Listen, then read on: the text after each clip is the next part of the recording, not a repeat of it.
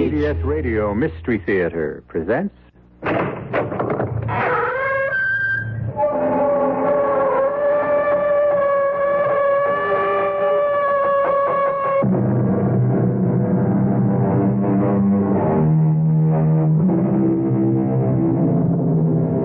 Come in. Welcome. I'm E.G. Marshall. Mark Twain once said that everybody talks about the weather, but no one does anything about it.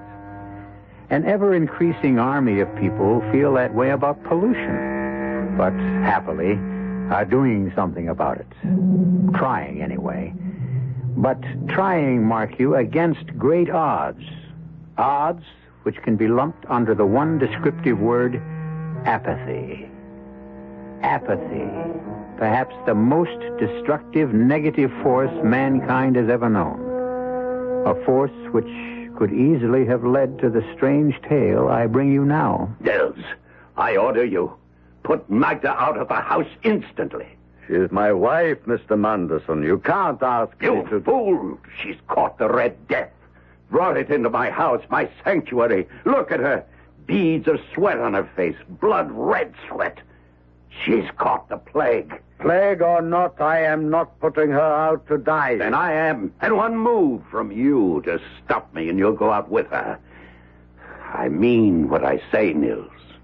Every word of it.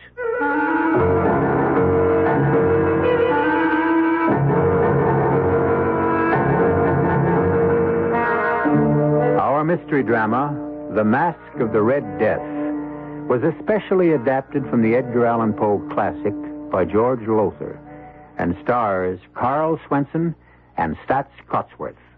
It is sponsored in part by Sine-Off, the sinus medicines, and Anheuser-Busch Incorporated, brewers of Budweiser. I'll be back shortly with Act One.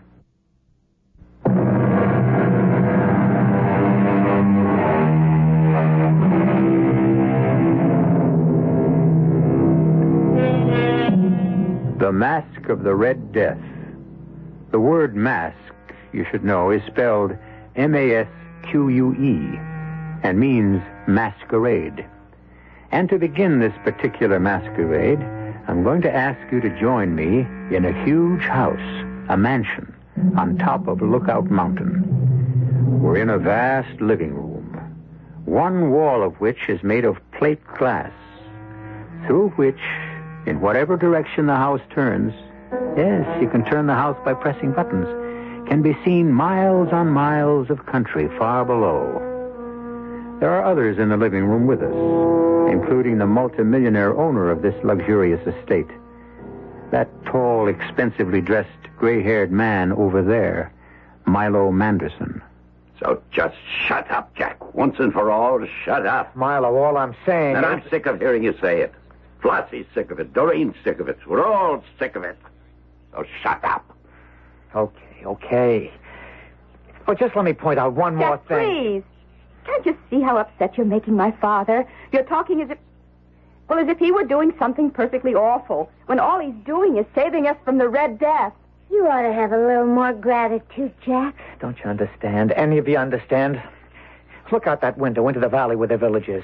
The farmlands, dead animals in the fields, cows, horses, pigs, chickens, everything. Doreen, shut him up. Shut him up, or I won't care if he is your husband. Which is the only reason I brought him along. I'll throw him out. I'll make up your mind, Milo. You didn't bring me here. You forced me here. For Doreen's sake, not yours. You penniless hayseed, you farmer. Huh. Would you believe it? 1996. Here we are in the year 1996, and he's still farming like it was 20 years or 30 years ago. Not 20 years ago, Milo. Not 30, a 100. I'm trying to bring the land back to what it was, trying to replenish the earth, to restore what fools like you took out of it with every pollutant you can think of. I'm trying to save. Now I've had it. I'm warning you for the last time. Doreen, talk to this fathead you married. Talk some sense into him. Milo, give Flossie a little drinky. A little martini. I could do with one myself. Now, you talk to him, Doreen. Jack, My father's right. Uh, with you, he's always right. Now, listen to me, honey. There's a plague out there, and it's spreading. It's spreading all over the country, and people are dying by the thousands, and all Father's trying to do is save us from it. I tell you, he He can. He can. Father has never failed, never, at anything he made up his mind to do. He spent weeks stocking this place with food and water, everything we'll need to stick things out until the plague's over. All those people dying out there, and we should. Well, why shouldn't we? They'd do the same if they could. Who wants to find himself sweating blood all of a sudden and dying in hours? Not me. I'm sorry for them, Jack. I really am. But that's no reason for me or you to go out there and die with them. There's such a thing as conscience, Doreen. Oh, Jack, you're impossible. What's that noise? Father? The helicopter. Here. Yeah, let me turn the house. You'll be able to see it coming in from the east. There. There she comes. The helicopter, Milo. Bringing in a couple I hired to do the cooking and housework. The Ostroms, Nils and his wife Magda. I hired them through a New York agency and had my pilot fly them out. What about the plague? Father, they could be bringing it with them. I had them checked out, complete physical, and every precaution taken to keep them from any contact with people till they got to the chopper. Nothing to worry about. Oh, look at that gorgeous hunk of man getting out of the cup. That's Nils. Ooh, six foot four if he's an inch. Long blonde hair. Oh, wow. you keep your eyes on me, baby. I'm the guy you're going to marry, remember, not him. How could I forget? You're the guy with all the money. yeah. Okay, here they come. As soon as they get in the house, we lock the place up solid, and I mean solid. Nobody gets in or out till this plague is over. You're Nils Ostrom, that right? Yes, Mr. Manderson. And this is Magda, your wife. Yes, sir. I should tell you she cannot hear or speak. She is a deaf mute. A deaf. mute? Well, how in Hades are we going to talk to her then? Give orders. Uh, she can read your lips. Uh, excuse me, sir. Yeah? What? Uh, the pilot of the helicopter, he asked me to ask you, will you let him stay? No way. He is standing out there, sir, waiting for one sign or another from you. To motion him to come inside or wave him away. Well, he's going to get waved away. Wait a minute, Milo. What now, farmer boy? I'm going with him. Now, Jack, we've been through all this I'm before. sorry, Doreen. I love you. You know that. But I just can't save my own skin while others are dying. Not, not if I can do something to help. Milo, you forced me to come here. And I'm forcing you to stay. Father! Well, that'd defeat your own purpose, wouldn't it? To shoot me, Milo? Oh. No intention of killing you, Jack. Just a bullet through the leg to stop you, and I'll do it. I'm going to protect you from the plague whether you want it or not. Not for your sake, but for Doreen's. She loves you. You don't ask me why, but she does. That's the only reason I'm keeping you here. Nils, you and your wife start locking the place up. Yes, sir. Come, Magda. I'll wave that pilot off. You could have let him stay, Milo. You may be sending him to his death. And if it weren't for Doreen, you'd be going along with him. Now shut up and help get this place locked up.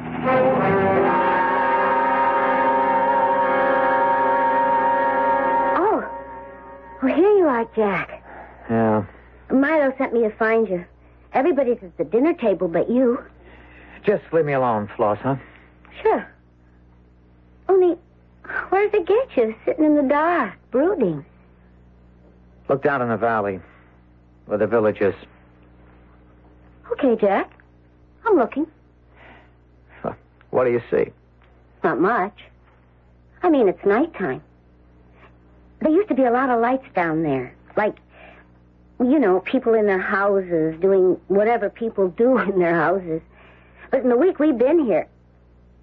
Hey, has it been a week? Yeah, a week. Well, anyway, since we've been here, at least half the lights have gone out. They didn't go out, they burned out. People died of the Red Death, and the lights just burned out. Tough. Is that all you can say? Tough? But you realize what's happening out there, not only down there in the village, but all over the United States, Canada, the, the world. Jack, baby. there's something you've got to understand about little Flossie. Oh. Up here in the head, nothing. Down here, and here, plenty. But up here in the head, oh, forget it. And that's why when this is all over, Milo's going to make me wife number four. Only you know something? No, what? Well, I've been listening. All this week, I've been listening to you. And it kind of gets through to me that, well, maybe you've got something. Tell me about what you're all wrapped up in. This orgasmic farming thing. Organic. You, you wouldn't be interested. so why am I asking? Well, it, it, it, it it's simple. It, it, it's like a bank account. Well, that I know about. All right. So then, you know, if you take out more than you put in, No bank account, overdrawn, fini. exactly. Hmm. So, well, it, it's simple. The, the land, the earth, where all the world's food comes from, it, it's a bank account. Now, unless you want to be overdrawn, you got to put back in what you take out. Well, the world has been taking out and never putting back in. The, the land is bankrupt. It, it's overdrawn. It, it's poor, not rich anymore. So what comes out of it is poor, not rich. So no matter how much people eat, what they eat is practically worthless. Oh, yeah. You follow me then? Mm. Like a tiger. If what we eat is worthless, well, then we get sick. We get sick. The air gets sick. The waters get sick. And then we get what we've got now the, the plague or the Red Death. Oh. So him, um, Milo, what he's doing, trying to save us from the Red Death. Well, what good is it? I mean, if the plague stops like he says it will. It will, it will, but there'll be others, worse. They're God's way of saying, man, you're overdrawn. Lost. Uh-oh. Lost. Milo's looking for me. I'm supposed to find you and... Uh, uh, right here, lover, right here. Now, what is this? You and the farmer boy in the dark. Talking, doll, just talking. I sent you to look for him, get him to the dinner table, and you sit here in the dark just talking. Well, I gotta talk to somebody, and you're never in the mood. Not for that. Well, what's so interesting in him? Well, he was telling me about organic farming and how it could save the earth from going bankrupt. No, not that again. Come on, dinner's getting cold. You heard me, Jack. I'll stay here, Milo. Oh, come on, Jack. You you ought to eat. You know, keep up your strength. On that food, it's practically worthless. Well, just to keep me company then. Can talk some more, and I like talking to you. Yeah, that's about all Farmer Boy can do, talk. Anybody can talk. I act. You just remember one thing, Flossie girl. I'm the one that's saving you from the Red Death. Yeah. Only answer me a question, Milo. Sure. Saving me. For what?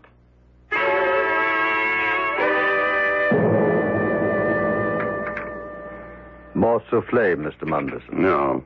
And I'll tell you something, Nils. Your wife's cooking hasn't been so hot in the past few days. She better get on the ball. I am sorry, sir, but she has not been feeling herself. I'll have more, Nils. I think it's quite good. Yes, madam. Yeah, and what about the coffee? I asked for another cup. Yeah, in a moment, sir. My wife is heating it.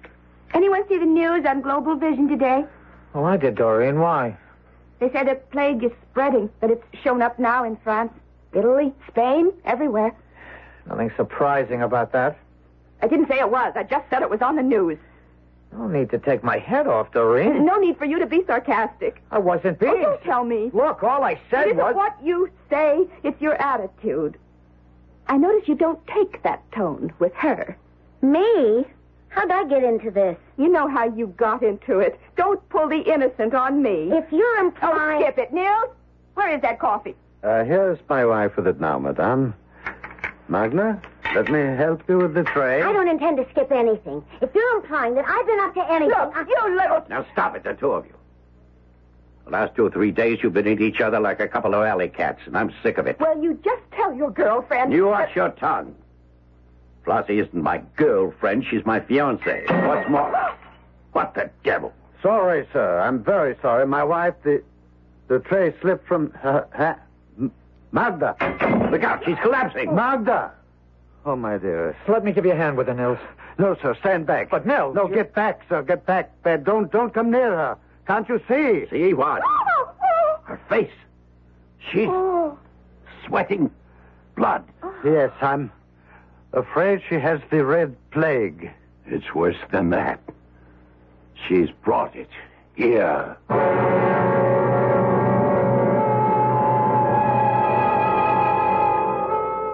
So, in spite of all precautions, the Red Death invades Milo Manderson's sanctuary, his barricaded retreat atop Lookout Mountain.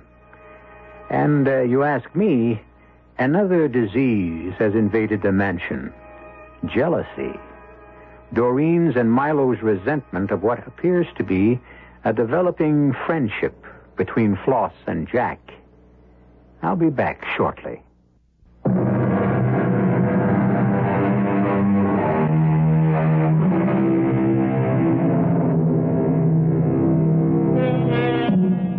As ye sow, we are told in the Bible, so shall ye reap. It would appear that multimillionaire Milo Manderson is on the threshold of doing some reaping. He thought himself and his few chosen companions safe from the plague of the Red Death, secure in his isolated retreat atop Lookout Mountain, the world and the spreading death in it barred from his door. Not so. Magda Ostrom, wife of Nils, the couple Manderson brought to do the menial work of the household, has just collapsed. Get her out. What? Get her out. Out of this room, out of this house. Oh, now cool it, Milo. The woman's dying. And we're not dying with her. Ah! Father! Don't start breaking The things. money I spent to protect us, the precautions I took, weeks of thought and preparation. To doctors. How many doctors did I send them to to examine them and check them out, make sure that they were free of the Oh, plague? Father, get hold of yourself. Ah, now she comes down with it. In my own house. This sanctuary, I nearly killed myself to make ready so we'd all be safe. Get her out of here. You can't ask me. Get to- her out. I will not. No, Mr. Manderson, I will not. Magda is going to die, but she is not going to die alone. Then die with her. Milo, no, no. Get out of my way. Give me that gun. Father! Here. Stop it.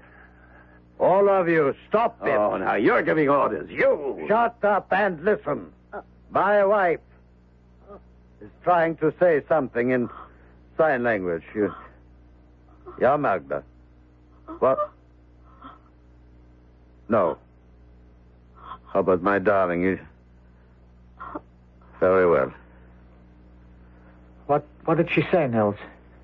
She said there is no hope for her, and there is no sense in two of us dying. What's she doing? Where's she going? Out of the house. To die alone. Goodbye. My dearest. Goodbye.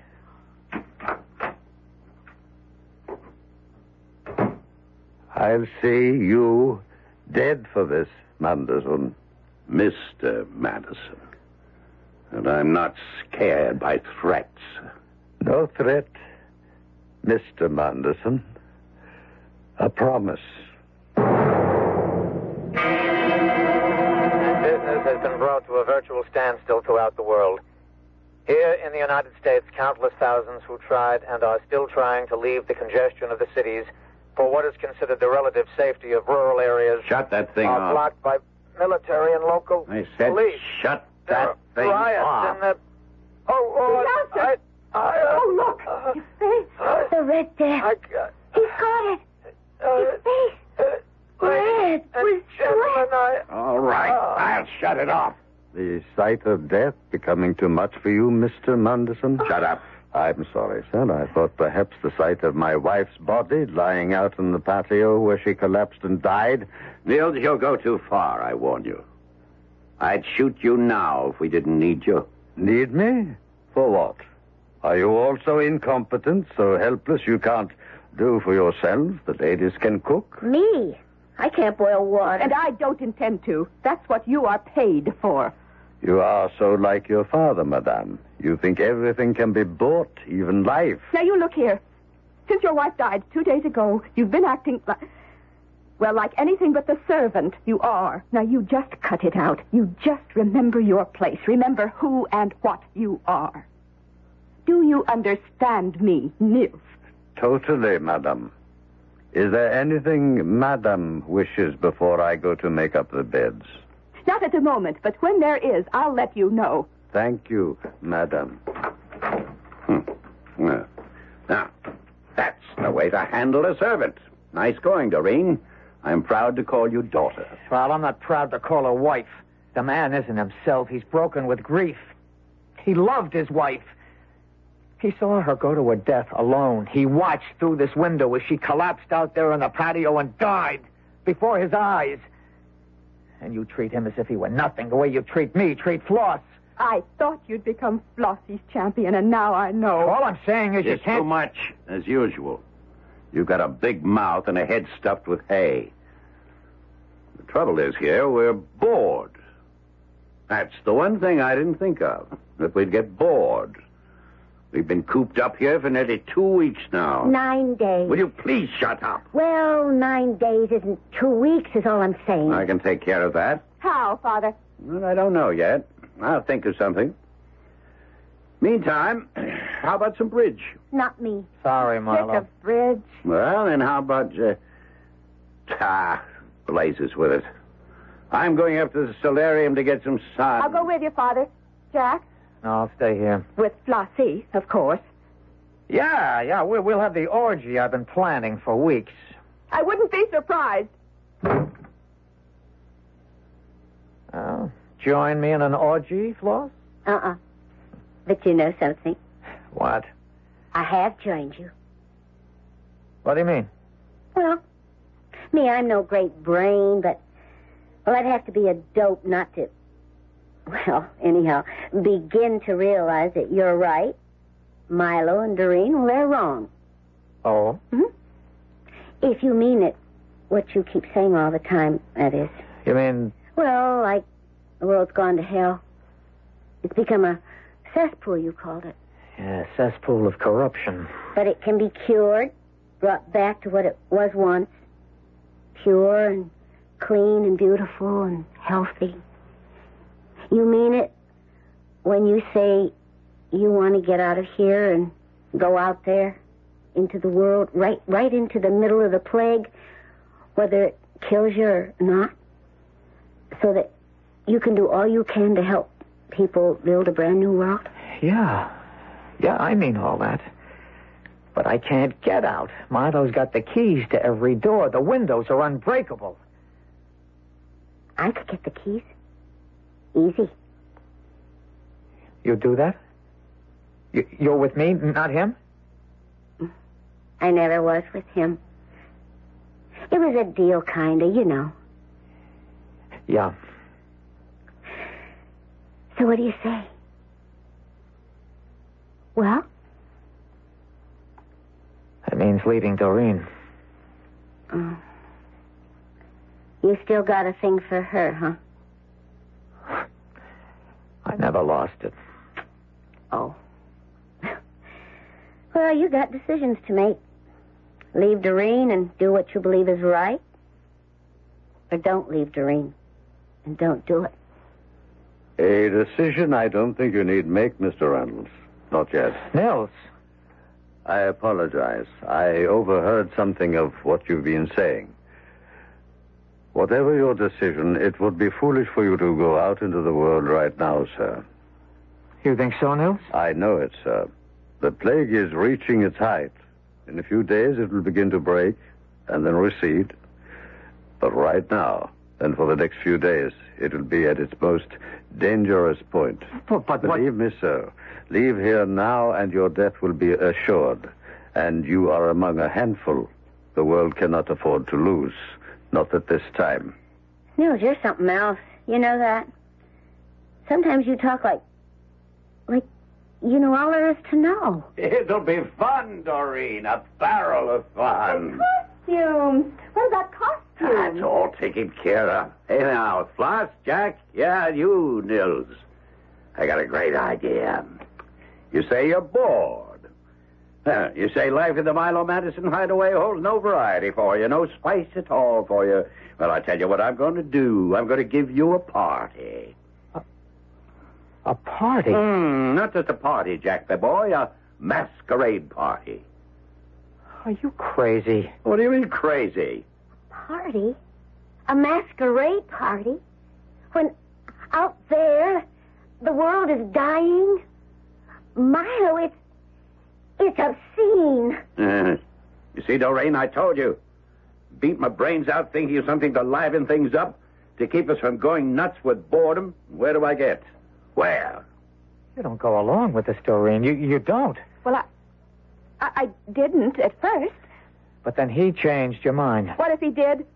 At least he's doing something. All you do is talk. That's all I can do. Locked in here, a prisoner. What more can I do? Something, I don't know, but something. Don't just talk. Do. All right, I'll do. Milo, you take your masquerade party and stuff it. I've decided we're going to have a masquerade party. And that's what we're going to have tonight. And you're going to be in it, you and Flossie. Floss, you go along with this? No. Now, look, you little. Tramp? Is that what you're going to say, Milo? Don't put words in my mouth. Don't you put thoughts in my head. Thoughts I wouldn't rather think. Look through that window. There's death out there. All around out there. A masquerade party. How could you think of it? How awful could you be to even think of it? We are going to have a masquerade party. And we're going to have it tonight. If it's the last thing I do. It will be. What? It will be the last thing you do. Now, what do you mean by that? I mean, I understand why you decided to have a masquerade party. Two days ago, when I held my dying wife in my arms, I told you what I thought of you. And no servant, no lackey, ever told Milo Manderson the truth since the day Milo Manderson realized he had made his first million. Before that day, you, Milo Manderson, you, still retained some shreds of humanity. But on that day, and ever since, oh God, God, I call on you. What has this mortal become? He's crazy. Look at him. Arms outspread. Looking up at the ceiling, calling on God like he knew him. He, he's out of his head. Hear me now, Milo. Uh, Milo! Hear me. It's revenge you're after. I told you the truth. The truth of not what you are, but what you have become. God made you beautiful. You have made yourself ugly.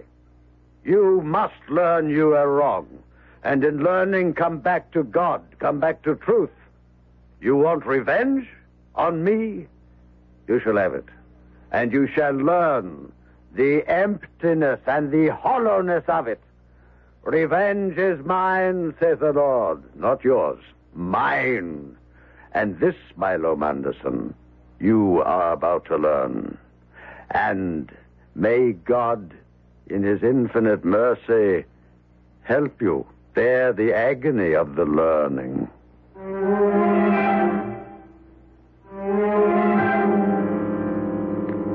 A strange speech, surely. Nils calls on God as if, uh, well, as if he knew him as intimately as I know you. And we do know each other, you and I, very well indeed by this time, don't we? Ought to. Been together a long time.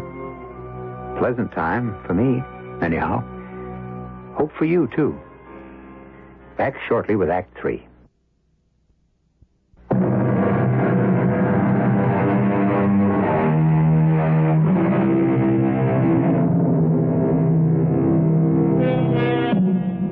Death, in the form of a plague, known as the Red Death, lays waste the world, while in an isolated mansion atop Lookout Mountain, multimillionaire Milo Manderson, seeking refuge, barricades himself and his companions from it.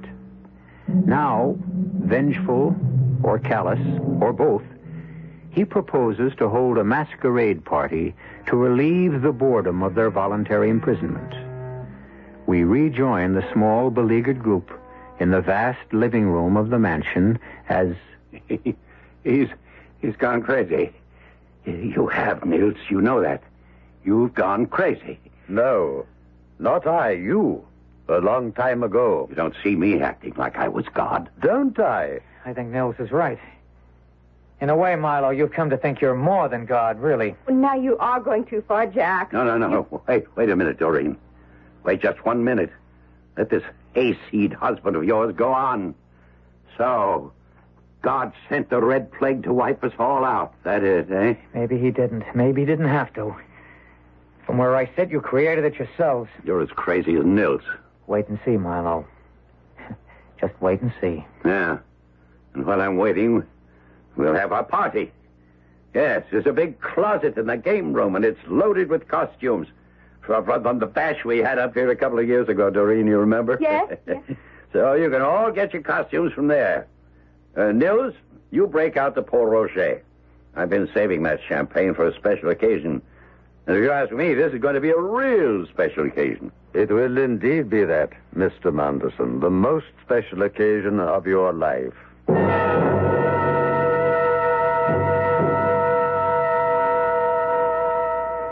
Yes, Doreen. hook me up and back. This Marie Antoinette costume is hard to manage. Oh, okay. You look handsome. That black and white domino. What kind of mask? Black or white? Um, black. Oh, romantic as well as handsome. And sulky. Sullen. Worried is the word, Doreen. Very, very worried. Oh, now don't tell me that, that, that little act Nils put on, that performance of stretching his arms wide and crying out to God. Don't tell me it got to you. The way it got to you? To me, I thought it as, as laughably ridiculous as my father did. Your father He's did. only trying to save us from the Red Death, Jack. And it's about time you gave him some credit for it instead of insulting him every chance you get. I'm not insulting him. I'm trying to wake him up. I don't know why it is, no matter how I try to keep things pleasant between us, you always manage to start your eternal harping on pollution. I'm sorry, Doreen. oh, you're always sorry. But that doesn't help. You ruin everything, just as you're trying to ruin my fun. Fun. How can you talk about fun? Because when- I need fun. That's why, because my father's right. We're going house crazy with boredom, and I don't see how a few hours of fun will change anything in that world you worry so much about, one way or the other. The music is starting. Oh, let's go down. Jack, please, please, for once, let's enjoy ourselves.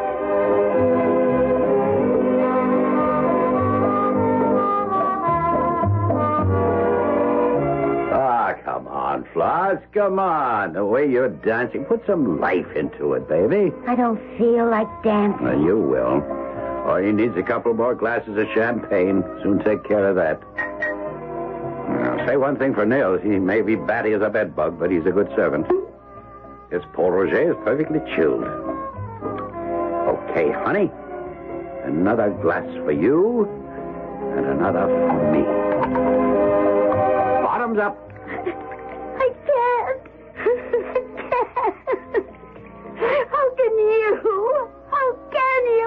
Cry. Don't cry. I can't help it. How can I try to be happy with all that's out there beyond that window? Be happy? Uh, you want to know the truth?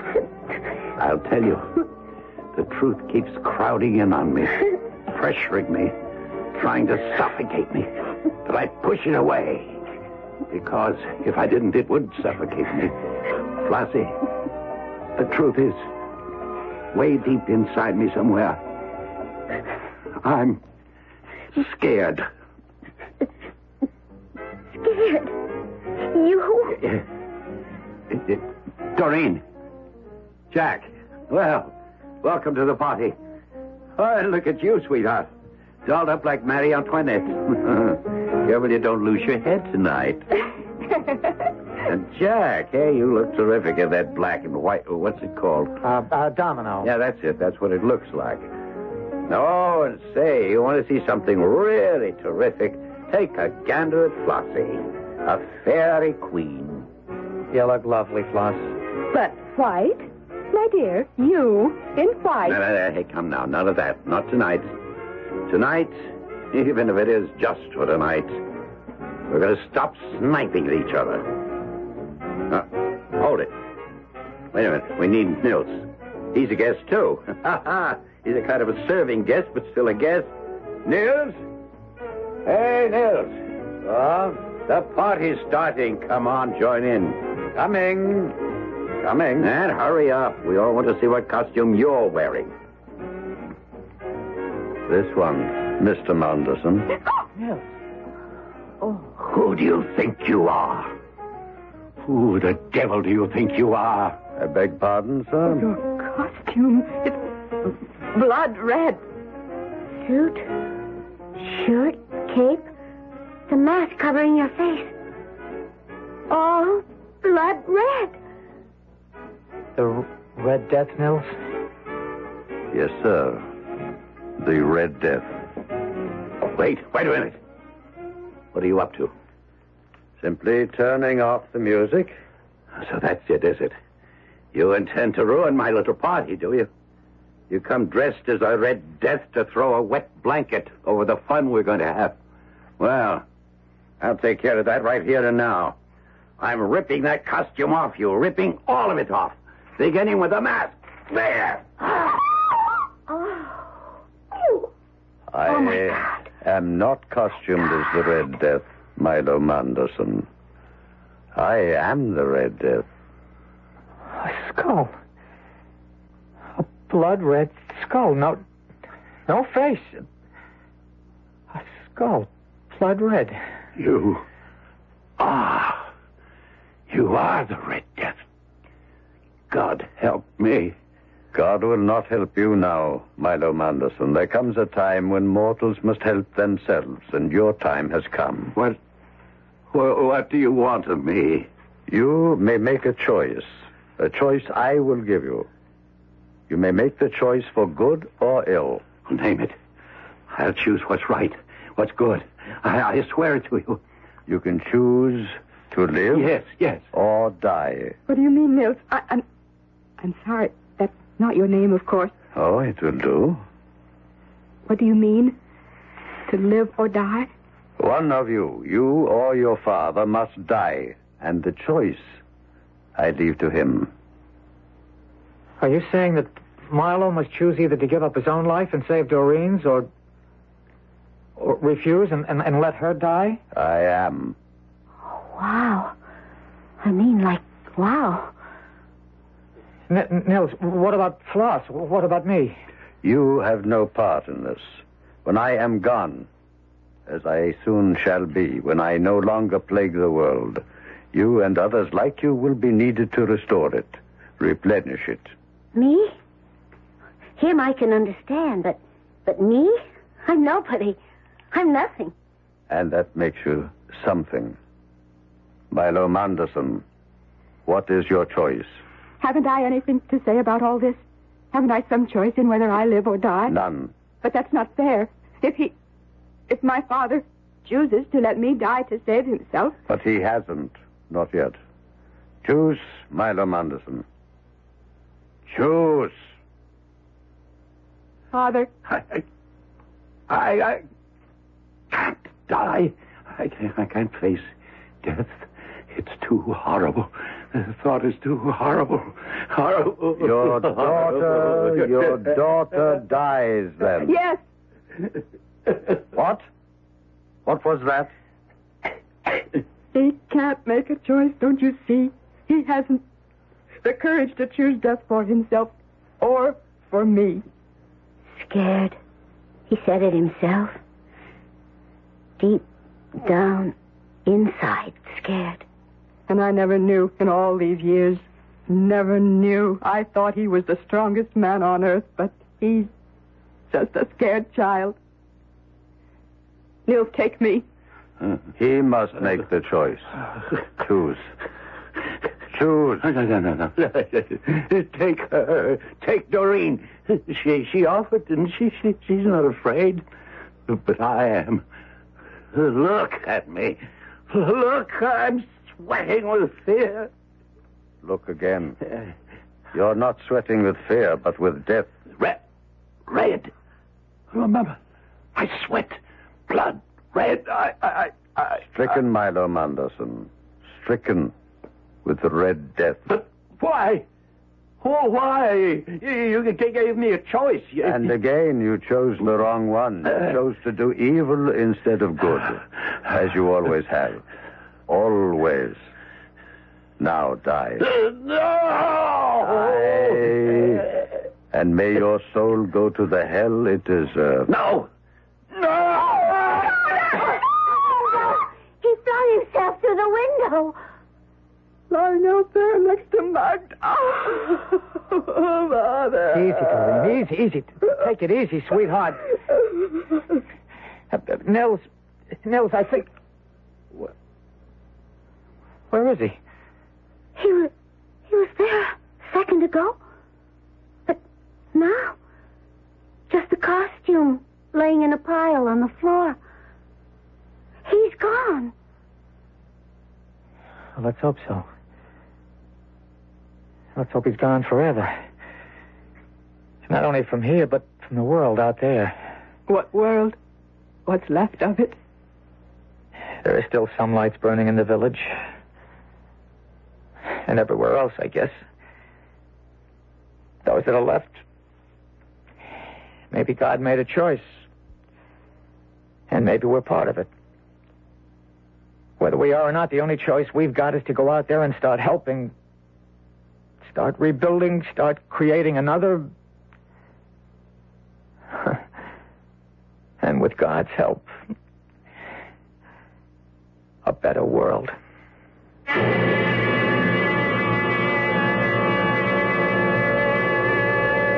So ended the mask, the masquerade, if you will, of the Red Death. The year 1996 isn't too far off as years go. And as we know, there are men and women in the world today with the foresight to see what lies ahead if the pollution of our air and our water and the very earth itself isn't brought to an end. I'll be back shortly.